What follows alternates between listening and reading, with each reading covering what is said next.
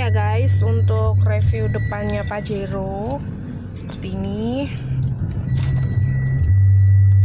Jadi ini Pajero-nya matic ya guys. Nggak ada yang manual. Kalau mobil mahal mah nggak ada yang manual. Pakainya udah sport system semuanya. Dan ini bokap gue guys. Ini di sistemnya Pajero udah dipasang GPS guys. Jadi kalau mau ke mana-mana sih lebih mudah pakai GPS kita bisa langsung program dari uh, TV TV sistemnya sini kayak gitu. Jadi GPS plus uh, GPS plus uh, radionya ya guys. Untuk sport musiknya. Rekalkulasi rute. Itu anak aku guys dan ini nyokap aku Ambil ini yang belokan punya Wacero berikutnya. guys. Ini nyaman banget loh guys beneran deh. Kalau punya uang mendingan beli Pajero. Dan ini sangat luas untuk eh belakangnya. Rekalkulasi rute. Mewah kan guys?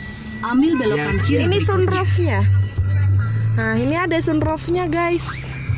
Jadi bisa dibuka. Nih ini namanya sunroof guys. Nah. Jadi itu untuk kalangan yang pengen pamer-pamer gitu bisa nah pakai sunroof gini. Kacanya lagi bisa. Buka kacanya juga bisa. Lo bisa naik ke atas guys. Berdiri di situ. Dan ini tuh nggak pakai kunci jadi tuh ini tuh langsung otomatis starter ya pak ya pokoknya kalau punya uang guys belinya ini aja guys Ini speednya sampai 8 ini speednya sampai 8 ya pak ya Iya. Oh, iya.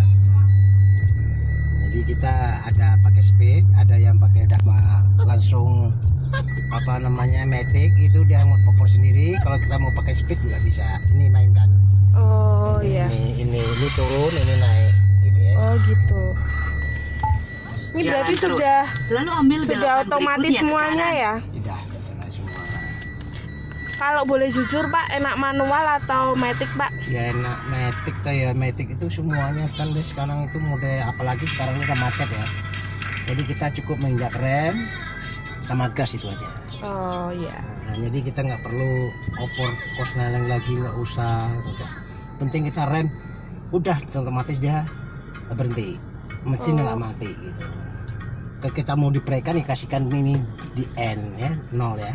Iya. Ya lepas gas yang namanya kalau ini hand remnya nih cek. Oh hand remnya gitu ya pak ya? iya. Gimana pak? Coba diulangi lagi pak. ini mati. Ya ini hand rem. Lampunya nyala nih. Ah. Oh Nah, gitu. ini jalan lagi kita ya. Iya. Semuanya Mewah sekali. otomatis semua Semuanya otomatis ya pak ya. Ambil belokan kanan berikutnya. Lebih enak mobil ini ya pak ya, timbang iya. mobil yang Oh iya ini harganya aja sampai 500 juta lebih ya. Dan mobil lumayan lah di bawahnya Alphard ini.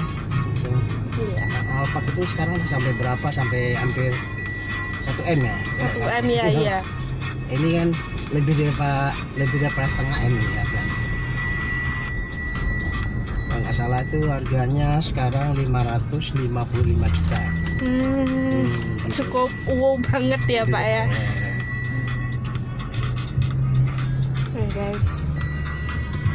jadi kita di inilah cukup puas lah untuk mobil ini mantap di atasnya tidak goyang Hmm.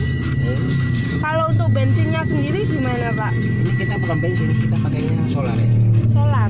Oh, berarti lebih irit ya pak ya? lebih irit irit banget Jadi kalau mau perjalanan jauh juga enak ya pak ya. Larinya kenceng ya pak ya. nah, iya bayang aja 8 speed gitu ya 8 speed itu kan 4 speed aja udah kencang kan. Ini kilometernya sampai 220 coba kayak apa larinya?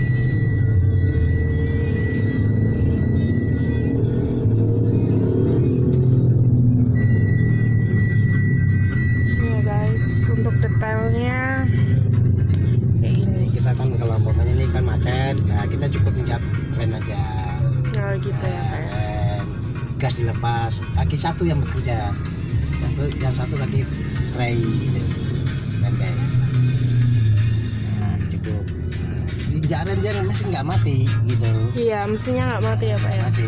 beda kalau sama manual ya pak ya Kalau manual diinjak mesin, diinjak rem dia mati mesinnya kalau nggak diinjak kopling gitu. Oke Pak, terima kasih untuk reviewnya ya Pak ya untuk malam ini. Oke guys, ini saya sudah review tentang Pajero Sportnya. Eh, kurang lebihnya saya mohon maaf. Jangan lupa like and subscribe ya guys. Thank you, dadah, bye bye.